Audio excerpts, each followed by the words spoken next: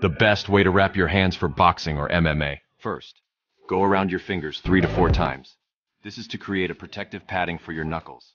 Make sure to keep your hand fully extended during the full wrapping process. Do not make a fist until you are done, or it will loosen your wraps. Pinch the pad with your thumb, then wrap around it to hold it in place. Next, wrap around your wrist two to three times. This ensures your wrist is safe when throwing hard punches. Then go between your pinky and ring finger.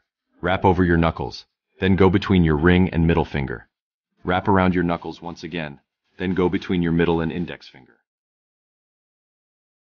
Go over your knuckles and bring the wrap down to your wrist. Wrap around your thumb one to two times. Then use up the remaining wrap to secure your wrist.